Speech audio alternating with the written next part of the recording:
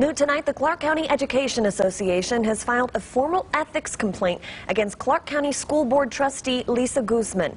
This is due to an apparent conflict of interest with her current employment and other relations. 8 News Now reporter Madison Kimbrough joins us tonight now with the details. Madison.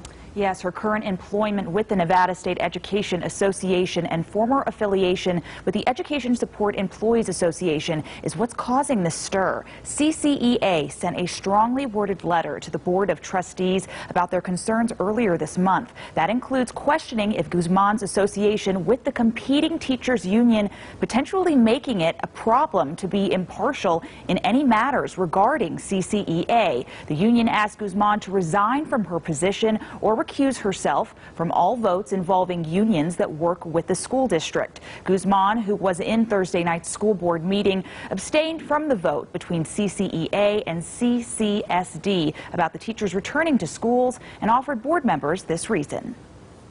I just wanted to um, let everyone know that I am going to be abstaining from this vote due to um, uh, my awaiting the Ethics Advisory Commission determination. So I just wanted to let people know so they know why I'm not asking questions and I'm not going to be voting.